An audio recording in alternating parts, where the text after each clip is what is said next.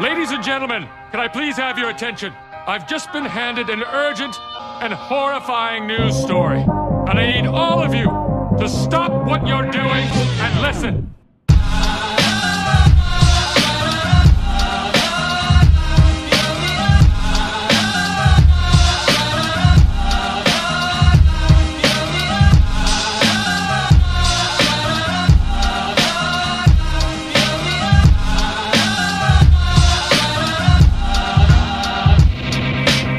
Ab, meine Freunde? Ich hoffe, euch geht es gut. Ein frohes neues Jahr wünschen wir euch mit, Frohes neues Jahr. mit, mit, neues Jahr. mit meiner Schwester Gülay. Also ich kann gar kein Deutsch mehr, deswegen muss sie mir helfen heute mit diesem, mit diesem Wert wie was, Daddy das. Denn no one gives a fuck about German language. Auf jeden Fall empfohlen, nicht so viel Scheiße zu labern in dem deutschen Vlog, weil das sehr assi rüberkommt, meinte sie. Aber ich versuche mich, wie nennt man das? Versuche mich Zusammenzureißen. zusammenzureißen. Meine Schwester ist gerade hier für zwei Wochen jetzt schon in New York. Es ist sehr kalt, es ist minus 3 Grad. Äh, Gefühlte minus 10. das ist ein wunderschöner Tag, wo man so sieht, wenn man hochguckt, die Sonne scheint. Es ist wunderschön, aber es ist halt extrem kalt. Also wir waren jetzt schon zwei Wochen, laufen wir herum durch Manhattan. Ich kann natürlich tausende Fragen stellen, wie zum Beispiel, welches Stadtgebiet fandest du am geilsten? Dumbo Brooklyn. Sehr, sehr teures Stadtgebiet. Das ist so wie Speicherstadt Hamburg. Das passt halt ihrer Klasse dann her. Ne? Ich bin so mehr so Bronx, Harlem, kein Geld, broke as Also Dumbo ist wunderschön. Soho mochte sie sehr gerne. Aber Brooklyn äh, Downtown war auch schön. Brooklyn Downtown hat uns ein bisschen an Los Angeles, Downtown Los Angeles erinnert, äh, da jetzt da große Gebäude au- aufgebaut werden. Deswegen ist es schon extrem cool, äh, dort zu sein. Aber die Preise sind extrem halt extrem teuer. Ne? Also Dumbo zur Info, das ist in Brooklyn. Man hat halt immer einen super Blick auf Manhattan. Und die Preise waren, Einzimmerwohnung kostet 5.200 Dollar. Wir waren auf jeden Fall überall schon im Rockefeller Center, äh, haben uns diesen Weihnachtsbaum angeschaut. Äh, wir waren überall. Ich werde sehr viele hier einblenden, wenn der Song reinhaut. Wenn jeder Deutsche hier nach äh, New York kommt, was wollen die als erstes sehen? Das Blasen, äh, äh, Plaza Hotel. Das Plaza Hotel. Und hinter mir ist gerade das Plaza Hotel. Wie man sehen kann, wunderschön. Er schläft nie. Kennst du es? Der Gerät. Der Gerät schläft nie. Kennst du nicht? Der, Gerät schläft nie. ja, Wie jeder Roboter bietet auch ein Dönerroboter handfeste Vorteile, findet der Hersteller. Der Gerät wird nie müde, der Gerät schläft nie ein, der Gerät ist immer vor der Chef im Geschäft. Der Stadt schläft nie. Ja, wir gehen jetzt ins Plaza Hotel, laufen ein bisschen rum. Ich werde auf jeden Fall ein paar Fragen gleich stellen, was generell Deutsche so wissen möchten. Aha. Got it? Alright, see ya. So, wir sind jetzt auf dem Weg zu Plaza Hotel, aber in der Zwischenzeit möchte ich dich gerne ein paar Fragen stellen gleich. Was fandest du am krassesten, was am teuersten hier in New York war, wo du auf jeden Fall denkst, so, boah, das ist extrem teuer im Gegensatz zu Deutschland? Lebensmittel. Als, Zum Beispiel Käse? Ja. Käse ist sehr Käse teuer. ist so teuer. Wa- Was denkst du, was so generell auch gleich ist in Hamburg von den Preisen her? Auf jeden Fall in Also den es ist letzten. im Durchschnitt immer alles hier teurer. Und die Miete ist halt extrem teurer, ne? Ja, ja. Fandest du generell die Pizza sehr gut, wo wir waren? Wo wir diese drei Pizzen hatten, Ja, ja, diese ja, drei verschiedene ja. Sorten, die war richtig gut. Ja. Also die drei waren richtig gut. Es gibt halt sehr gute Pizzeria-Restaurants hier in Manhattan, natürlich auch in Brooklyn, sehr, sehr gute, sehr angesehene, wo auch sehr viele Dokumentationen gedreht worden sind. Aber wenn man halt sehr local sein möchte und in Manhattan rumläuft, dann sollte man auf jeden Fall, wenn man ganz normal äh, beim Gehen to go einfach so eine, wie man das, so ein Stück, Pizzastück nehmen möchte, sollte man auf jeden Fall ins Prince Pizza gehen in Soho. Also die Pizza ist einfach genial, ne? Also, und die ist kalt, ne? Mir ist richtig kalt. Du frierst gerade, ne? Michael Habe ruft immer an, wenn es um Arbeit geht. Michael, der schläft nie. Der schläft nie ein,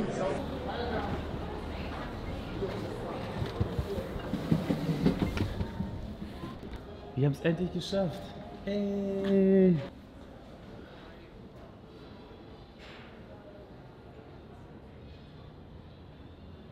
Wir sind endlich drin in diesem Plaza Hotel. Gülay hat immer Angst, dass wir Ärger bekommen, weil ich immer mit dieser riesen Kamera durch die Gegend laufe.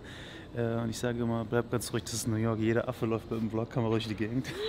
Also ob jetzt ein Türke noch mit einer Kamera durchläuft, das passt schon. Nein, wir Fall ist es ein sehr, sehr, sehr schönes Hotel. es ist sehr ruhig heute, gegen, Ja, im Gegensatz letzte stimmt. Woche war schon extrem, wo halt alle, jeder, jeder New Yorker ist wieder nach Hause gekommen und jeder hat angefangen zu arbeiten. Aber heute ist extrem ruhig und ja, guck mal das Restaurant an. Das Willst du Kaffee trinken? Ja, komm.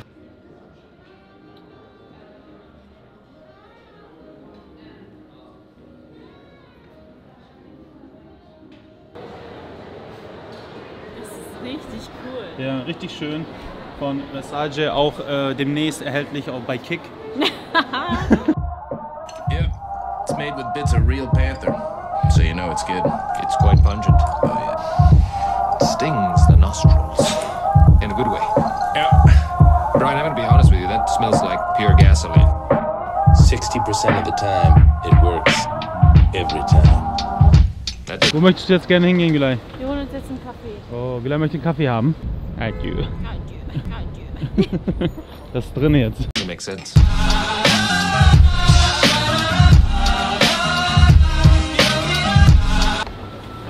So, Gülay möchte Kaffee. Denn sie ist äh, in diesem New York Standards jetzt, wo sie jeden Tag 5 Liter Kaffee trinken muss. Übrigens ist Kaffee teurer als in Deutschland. Ja. Also natürlich nicht so teuer wie bei dem Edel Starbucks. Ja. Das war ja schon echt. Ja, wir waren bei diesem Reserve Starbucks.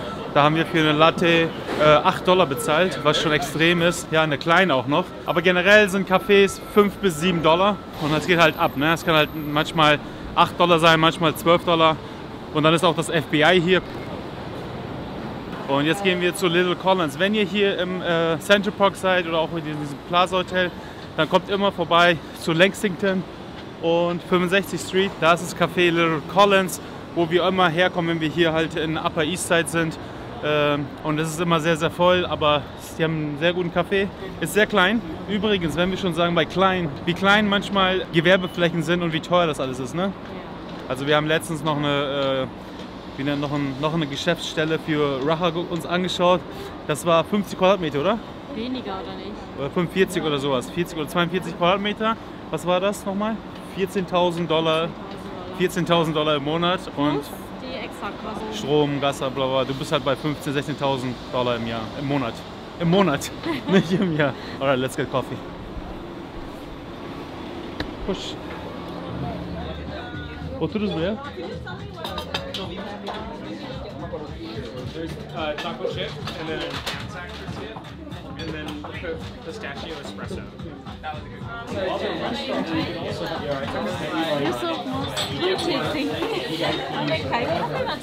Ja, ich habe so, ein- hab so ein Problem, wenn ich zu viel Kaffee trinke, äh, geht es mir danach richtig scheiße, habe ich jetzt gemerkt in den letzten Wochen. Und äh, vielleicht liegt das daran, dass ich 5 Liter Kaffee einfach zu viel ist für meinen Körper. 5 Liter. Äh, und ja, jetzt trinke ich einfach mal ein bisschen Green Tea, damit ich sehe, ob das was bringt. Aber gestern hat es auf jeden Fall sehr viel gebracht. Ich habe aber auch, gestern habe ich keinen Kaffee mehr getrunken, ne? Und es hat mir auf jeden Fall sehr viel gebracht. Mal gucken, wie es weitergeht. Aber das Ding ist super hot. Soll ich soll ich es auf meine Hand kippen und dann zeige ich die an gleich? Scheiße voll, hä? Ja. Übrigens, wenn ihr nach New York kommt für sieben Tage oder auch mehr, solltet ihr euch auf jeden Fall diese sieben Tage MTA-Cards kaufen. Dann braucht ihr nicht jedes Mal, wenn ihr die Bahn fahren wollt, immer 2,75 Dollar bezahlen. Und zwar bezahlt ihr für sieben Tage Unlimited Rides, also und Unlimited Fahrten. Äh, kostet jetzt 32 Dollar. Letzte Woche, 2018, waren es noch 26 Dollar. Es ist teurer geworden. Wir sind in den letzten Tagen manchmal bis zu 20 Kilometer gelaufen, was schon extrem krass ist. Man muss auf jeden Fall immer, immer mit Turnschuhen nach New York kommen, denn manche Touristen laufen mit High Heels durch die Gegend. Gülay war jetzt zwei Wochen hier in äh, Manhattan und ist es äh, angebracht, mit, mit High Heels zu kommen, Gülay? Definitiv nicht. Voll nach Was? äh, Waffeln. Manchen Ecken riecht es voll nach Waffeln und in manchen Ecken riecht es voll nach Scheiße. Scheiße! ja, New York hat schon Extreme Gerüche. Gerüche. Und, und immer diesen Wechsel von dem, weiß ich nicht, von dem sauberen Gestank. Keine Ahnung, wie ich das sagen soll. Auf jeden Fall sehr, sehr, sehr viele Gerüche. Gülay ist auch schon sehr nah an Obdachlose gekommen in der Subway. Oh ja. Und Gülay, äh, weil Gülay neu ist hier in New York, sagt sie immer, oh, das ist so traurig, wir sollten ihnen Geld geben. Und ich so, nee, nee, glaub mir. Wenn du über vier Jahre lang hier lebst, dann hast Bin du da, ja, dann bist du da so abgestumpft von. Und ähm, ja, hörst einfach, hörst einfach auf, Geld zu geben und einfach nur was zu essen zu geben, wenn du irgendwie Reste oder sowas hast. Denn äh, wenn du denen Geld gibst, kommt dabei generell nur Scheiße raus und die kaufen sich Drogen. Und ja, New York. Und was ich super schade finde, in der Weihnachtszeit, nach der Weihnachtszeit, das ist, was man begegnet. Wo bleibt da die Natur? Wo bleibt Greenpeace? Wo bleibt das Christentum, Gülay? Oh Gott. Das war zu weit gegriffen, oder? ja. Ja. Übrigens, ich hoffe, ihr hattet eine wunderschöne Weihnachtszeit mit eurer Familie. Gülay läuft immer schneller als ich, als ob sie die Wege schon weiß, wo sie hin möchte. Wobei wir komplett falsch gehen. Komm, Gülay, wir müssen zurück. Wir müssen zurück, wir müssen dahin. Lauf! Lauf, du Keck. Lauf, du Keck.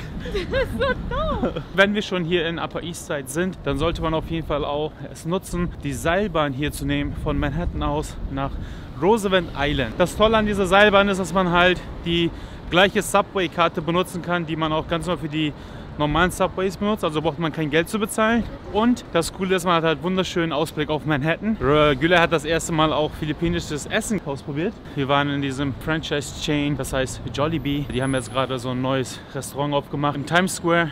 Eis Was- mit, mit Kichererbsen. Ja, das war krass, ne? Wir haben alle rumgekichert, ne?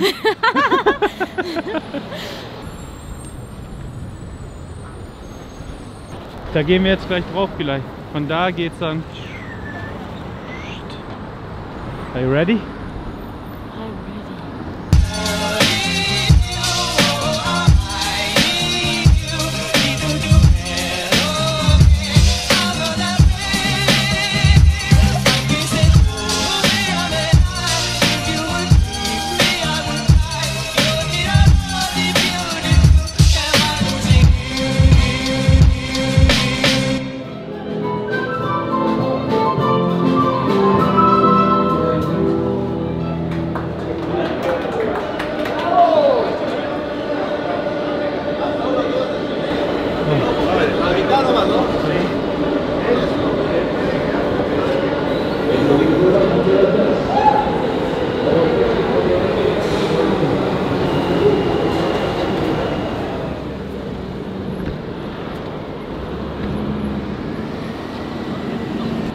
Was denkst du über Times Square actually?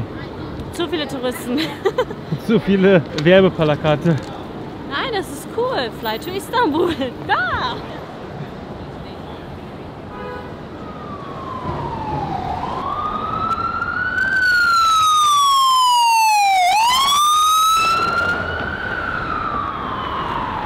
Vielleicht ist dir zu kalt oder was?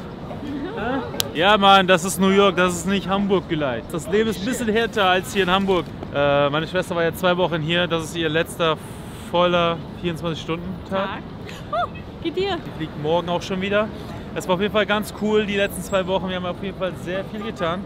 Äh, sie ist sogar äh, krank geworden wegen dieser ganzen Kälteschwankungen. Das ist immer noch. Old und old, ja, ne? Sie war, sie war, sie war, Ja, komm mal rein. Die nach zwei Wochen im flachen Bett, weißt du? Eine krasse Information nebenbei noch. Gestern sind wir einfach an so einem Obdachlosen vorbeigegangen, der am Boden lag, voll am äh, Rumkotzen war. Und ja, das Leben geht einfach weiter. Für meine Schwester war es auf jeden Fall ein bisschen krass, das zu sehen. Aber für mich jetzt nach vier Jahren, der schon hier lebt und das alltäglich sieht, ist es halt, ja, whatever. Next. Und jetzt, daraufhin gehen wir jetzt erstmal schön Du bist Cheesecake so essen. ein...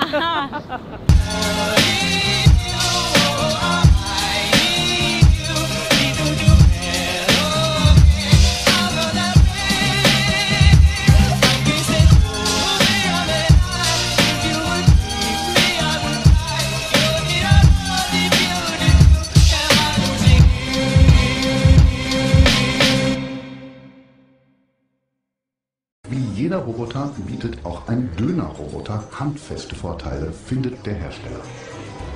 Der Gerät wird nie müde, der Gerät schläft nie ein, der Gerät ist immer vor der Chef im Geschäft und schneidet das Dönerfleisch schweißfrei.